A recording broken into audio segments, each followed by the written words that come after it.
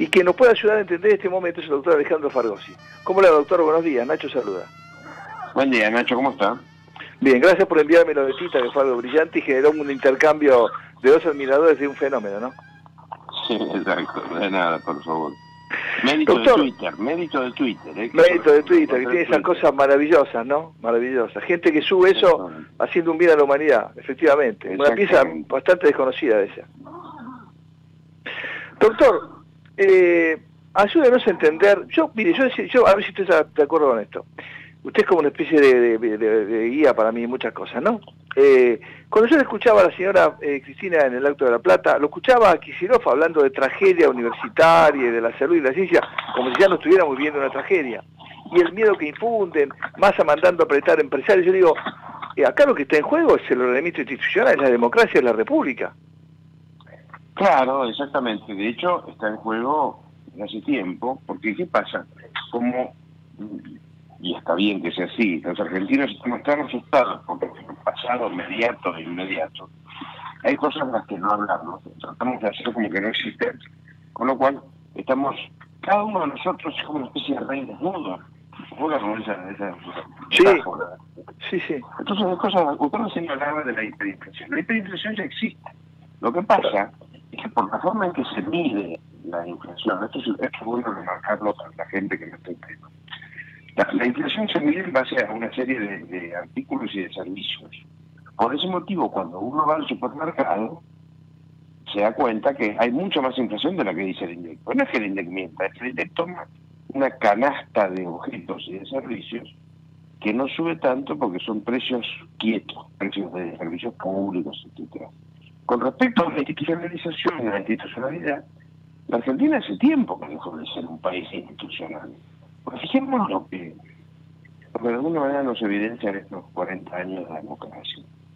Nosotros mirábamos como estupefactos lo que pasaba en México, donde un partido político ganaba las elecciones una tras otra, una tras otra. El Partido de la Revolución Institucional, hace más de 70 años. Exactamente. Bueno, nosotros los hicimos de goma, Nacho. Sí. ¿Y sabe por qué los hicimos de goma? Porque en Argentina, por un fenómeno que tiene tanto que ver el, el actual oficialismo, el peronismo, como las distintas exposiciones en la vida, no es que apareció el Cid Campeador y ganó una batalla después de muerto. Perón gana elecciones 40 años después de muerto, perdón, 50 años después de muerto. Y la sigue ganando. Usted pela con cierta credibilidad la cara de Perón y consigue un 30% de votos por abajo de la mesa. Es impresionante. Y eso no es institucionalidad. Institucionalidad no es que cuando uno revisa la lista de los que nos gobiernan, no hubiera votado prácticamente ninguno. ¿Cómo es que tenemos diputados y senadores que no lo conocen de madre?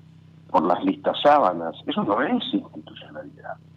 ¿Cómo es que tenemos intendentes que duran 10, 20 años en sus cargos ellos con la mujer y el primo en su vida? Eso no es institucionalidad. Nosotros usamos un lenguaje paralelo. ¿Y saben cuál es el ejemplo, de nuestro lenguaje paralelo? El dólar paralelo. El dólar paralelo, en lugar de llamarle dólar negro, como se le llama en cualquier lugar del planeta Tierra, primero le dijimos paralelo, ahora le decimos blue. No es ni paralelo ni blue. Es el dólar negro, del mercado negro, porque como no se compra y vende de manera legal, es el mercado negro. ¿Cómo se soluciona esto? Con una especie de hipodérmica ¿eh? de 10, kilos, 10, kilolitros, como se llama la unidad medida, de legalidad. Hay que aplicar la ley a lo bestia, como diría Gilia. Pero para eso necesitamos que los jueces se pongan los pantalones largos y le empiecen a aplicar. Yo siempre termino echando la responsabilidad sobre los hombros de los jueces, porque es un grupo de gente en la Argentina que tiene una cantidad monumental de ventajas comparados con todos nosotros, pero no nos están dando a cambio lo que justifica esas ventajas. Yo entiendo que tengan estabilidad, o sea, son los únicos cargos que duran de por vida, tienen unos sueldos bárbaros, un encarné que hace que todo el mundo se hinque frente a ellos, no pasan por la guardia. Tiene una enorme cantidad de ventajas, 45 días de vacaciones, hombre de grande, 45 días, no sé cómo no se aburren. Este, bueno, a contrapelo de eso tendrían que tener una actitud que no la tienen todos, la tienen muchos, pero no la tienen. Usted siempre lo dice eso. Me acordaba usted, pues tratando de escuchar al ministro Lorenzetti, que confirmó que se han hackeado y demás. Decía, mire, no van a lograr, no quería hacer consideraciones, pero fue muy claro. Decía, mire, no van a lograr, lo que buscan siempre es que es intimidarnos, amedrentarnos. No van a lograr, vamos a hacer nuestro trabajo, tranquilos, confiados. Eso me pareció bien porque justamente, o sea, hubo reuniones de la Corte, por ejemplo, con los jueces de Santa Fe, creo que han nombrado en los últimos días más jueces, porque finalmente se pusieron de acuerdo en, el oral del Senado. Pero digo, eh, por, por fin lo que usted dice hace tiempo, es decir, tienen que poner el, cuerpo, tienen que poner el cuerpo los ministros y los jueces, y los fiscales. Sí, y fíjese, hablando de la Corte Suprema, que hace cosas de dos meses o algo por el estilo, trascendió, pues se maneja con porque increíblemente los jueces de la Corte tienen vocero de prensa, cosa que no voy a entender, pero bueno, ahí. Eh, trascendió que como este era un año electoral, no iban a tomar ciertas decisiones judiciales. Entonces yo de repente me pregunté, ah, buenísimo, esto quiere decir que trabajan un año en promedio, porque cada dos años hay un año electoral. Este año es electoral, el año que viene no, el siguiente va a ser electoral, no de presidente, pero sí de diputado, y así. Es un disparate. Sí, es un disparate. Es el mismo disparate que los papas dicen, no, yo no voy a Argentina, el papa que tenemos actual, porque es un año electoral. Pero ¿qué tiene justamente si la iglesia tuvo su conflicto histórico entre lo temporal y lo, y lo, y lo clerical y la fe, lo resolvió, claro, digo, entonces no, no tiene que ganar nada, el Papa sí viene, yo se sabe que el Papa esté jugando a favor, como pensamos mucho que juega, pero quiero decir, los ministros deberían despedirse cuando tienen que pedirse, porque si no están dando lugar a que efectivamente se piden políticamente, además siempre se piden políticamente, ¿de dónde sale que no se piden políticamente? Exactamente, es interesante algo que no, yo me acuerdo hace muchísimos años, no me acuerdo quién lo dijo, pero cuando digo muchísimo, Creo que, miren, ustedes es mucho decir. ya mucho decir. Un, un, no un político, un civil que hacía algo de política había dicho, sería más barato pagarle a cada argentino un viaje por Estados Unidos y Europa para que aprenda cómo son las cosas y traerlo vuelta que seguir soportando este estado de situación. Esto lo dijo hace como 50 años, un tipo bastante el nombre de y de alguna manera esto lo verificamos que tenemos la posibilidad de viajar, cuando vemos cómo son las cosas en otros lugares. Desde una simple conferencia de prensa, que le preguntan al presidente cualquier cosa y la tiene que responder y pedirle perdón públicamente si contesta mal. Hasta las reglas de ética fundamental. A ver si nos si esto. Mientras en Argentina, y esto no estoy exagerando, palabra no, no estoy exagerando, Mientras en la Argentina, un jardinero presidencial, que es multimillonario del dólar, en Inglaterra, un simple diputado que aprovechó un jardinero a tratar para arreglar una vez su jardín, tuvo que renunciar. A ver si entendemos la diferencia. Bueno, acá jardineros, peluqueros, secretarios privados, bueno, el, que después murió, Núñez, 110 millones de dólares de, de, Nacho, pero ¿quién falla ahí? ¿Quién falla ahí? Pasa el sistema judicial. El sistema judicial tiene las normas para hacerlo. Además, a usted o a mí, esas normas se nos aplican. Porque usted en, la, radio o a mí cuando una empresa cliente se engancha de una lucha y nos despiden. Se terminó esto. La, Argentina es mentira que sea un país de ladrones. Somos un país separado ¿no? de ladrones en el sentido de que no les exigimos a los que nos gobiernan lo que nos exigimos a nosotros mismos. Ahora, que nos lo exigimos. Doctor Fabrosi, eh, eh, este acto del viernes, esta campaña de miedo, de terror, de Rossi que dijo que se va a duplicar la pobreza, de Kicillof que se viene una tragedia, como si no estuviera viviendo una tragedia, de lo de ella, ¿no? En, el centro, esa centralidad de ella, bueno, cada vez, ahora cierra un, un teatrito, ¿no? Está bien, pero digo, toda esta, toda esta cosa última, ¿no? Del miedo, del terror, del susto, ¿qué, opina de todo este momento? Para mí tiene una explicación, eh, se lo explico en términos de un accidente de tránsito.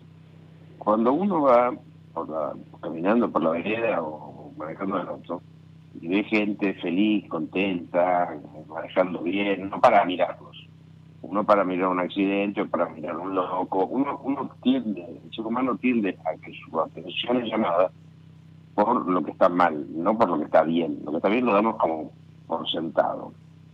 Este grupo de delincuentes, en el cual hay varios condenados, yo creo que deberían analizarlo y probablemente lo vayan a estar, ¿Por qué nos llaman la atención? ¿Por qué tienen centralidad? Porque son un lote de impresentables que se han robado hasta lo que no había. que no han hecho bien absolutamente nada y que permanentemente en, los medios los mantienen en el candelero por una razón lógica. No es que mal, es lógico. Porque dicen y hacen tan cantidad de barbaridades que la noticia es esa. No que hay un político serio haciendo su trabajo en este momento en la intendencia de, no sé, lo más de Zamora, por decir algo. Entonces, nosotros lo que tenemos que ver, de qué manera, los que por distintas razones tenemos más responsabilidad en el manejo de las cosas públicas, es ver de qué manera estos señores nos ponemos en el lugar que deben estar, que es entre rejas, presos. Ahora, doctor Farusi, ¿eh?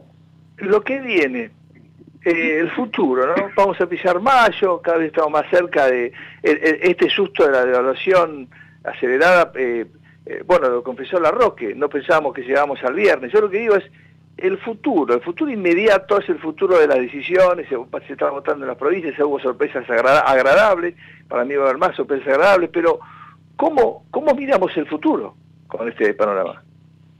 Hablamos yo siempre tengo la sensación de que va a volar todo por el aire, va a haber un proceso parecido al del 89 o al 2001, 2002, porque en la medida en que, por ahora, nadie quiere que eso ocurra, pero está pasando, la verdad que está pasando. Eh, ¿qué, ¿Qué es lo que va, qué es lo que va a ocurrir ahí? Me genera un gran miedo el fenómeno de los votos cautivos. ¿Qué son los votos cautivos? Son esos varios millones de argentinos que ganan plata sin trabajar. Claro.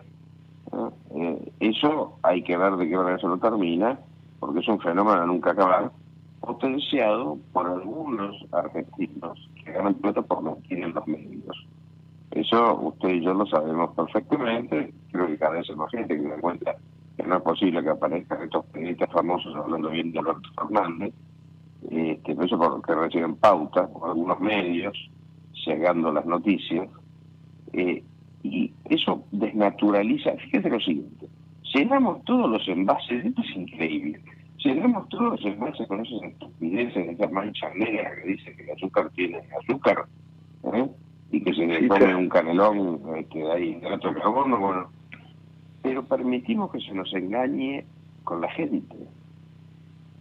Permitimos permanentemente. Pero bueno, soy optimista porque, aunque parezca mentira después de todo lo que dije, porque esto es como, yo, ¿cuál es mi, una, una de mis cruces? Una de mis cruces es que tiendo a estar gordo. Y el régimen lo empiezo cuando ya pasé la barrera.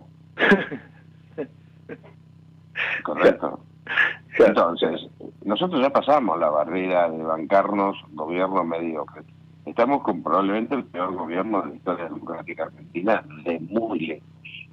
Eso quizás haga que en la próxima elección la gente vote un poco más con la cabeza y deje de responder a esos inputs de yo soy hincha del cheloleo de, de Ford, yo soy hincha del peronismo, del radicalismo, esa especie de partidaje en todo lo que hacíamos, que se ha ido diluyendo con el tiempo, gracias a Dios, la gente joven no piensa así, eh, me preocupa la división de la oposición. Yo, más allá de la especie personal intelectual que tengo a mi ley, eh, creo que no debiera ir por separado junto con el cambio, pero bueno, no sé quién para, para decírselo. Este, él sabrá lo que hace, pero me, da pena que se dividan los votos. Eh, y tengo pánico de que, de que el corcho de Scioli termine arrastrando votos, porque Scioli es un corcho, no hizo bien nada en la vida, nada y sin embargo es, es una especie de gente que no ha hecho bien nada y lo, y lo votan. Y muchachos, ¿qué pasa? ¿Por qué votan a esta gente? Esta gente es increíble, esta gente que, que, hace desastre, ¿verdad? El peronismo, en este caso el kirchnerismo, que es la, la, la digamos, el, el, la metástasis terminal del, del, peor peronismo, siempre tiene alguien que lo salva. Ahora la funcionalidad de mi ley, la reaparición de, de, del Pichichi, yo lo que digo es que tiene suerte porque a eso solamente viene cualquier, este, solamente lo banca lo que dijo esta señora de La Plata, lo que dice Kicillof, lo que dice Rossi, lo que dice el Roque, lo que dice Tailá, todos estos matones, Aníbal Fernández, solamente los banca la República Democrática, solamente un sistema que garantiza la, expresión del otro, que manifieste su idea, eh, solamente la democracia banca a esta gente. Digamos, en un sistema del que ellos proponen, que es el despotismo, la tiranía, el autoritarismo,